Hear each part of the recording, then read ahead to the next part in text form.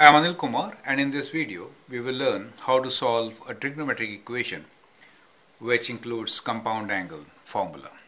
The question here is solve the equation sine 7x cos 5x minus cos 7x sine 5x equals to minus 1 where x is between minus 3 pi by 2 and pi by 2. So the given equation is let me rewrite this sine of 7x cos of 5x minus cos of 7x sine of 5x right? So this could be written as sine of 7x minus 5x so that is the compound angle formula for a minus b which gives you this result.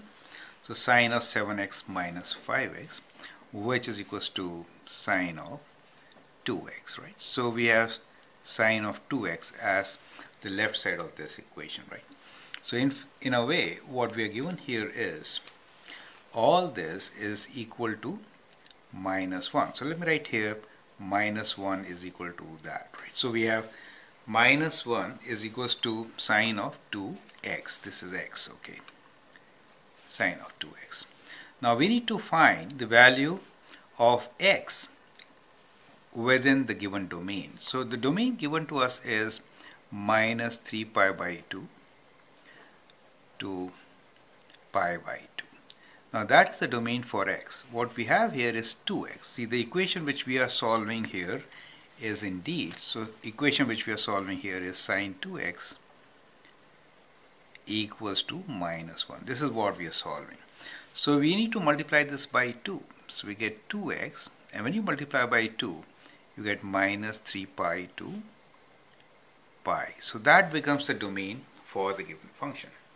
Now as you know sine function has negative 1 value at one point in one cycle. So let me show you one cycle and then we'll figure out all other answers. Right? So this is one cycle of sine in which sine is minus 1 for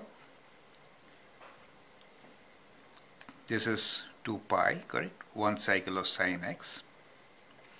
So this is pi and this is 3 pi by 2 so for 3 pi by 2 we know sine of x is minus 1 right? But we are looking into the domain which is from pi to minus 3 pi. Do you see that? So so how do we get the answers? Within this particular domain for 2x so for 2x, one answer is 3 pi by 2. The other one should be, we have to take away pi from this, 2 pi from this. So, so the solutions will be, let's say 3 pi by 2.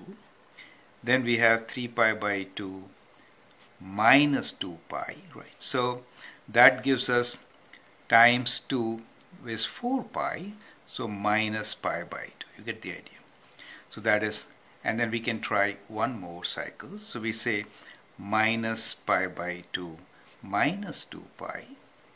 So that gives you 2 times 2 4 minus 5 pi by 2 right? So so basically our cycle here is from minus 3 pi by 2 to pi by 2 right? So uh, so minus pi by 2 is within this scale. So so basically on the domain let me write down here show you. So the domain here is let us say we have pi by 2 here on the plus side and then on the minus side we have minus 1 pi by 2 minus 2 pi by 2 will mean minus pi then minus 3 pi by 2 is it okay?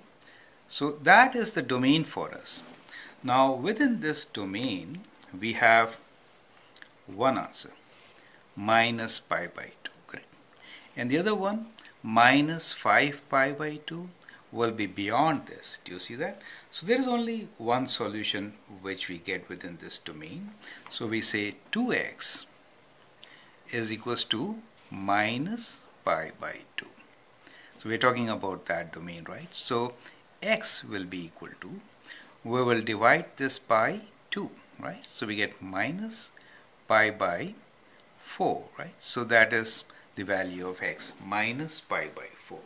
So this particular equation sine 7x cos 5x minus cos 7x sine 5x equals to minus 1 is true for x equals to minus pi by 4 in the given domain where x is greater than equal to minus 3 pi by 2 and less than equal to pi by 2 as shown here right? So our solution here is x is equals to minus pi by 4 so I hope you understand the method.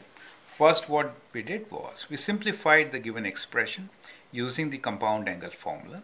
So on the expression on the right left side is sine 7x minus 5x which is sine sine 2x now that sine 2x is equal to minus 1 so we wrote sine 2x equals to minus 1 right? So this is what we got.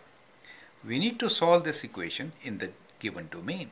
Domain is for x so we made it for 2x and we got our result as between pi and minus 3 pi okay?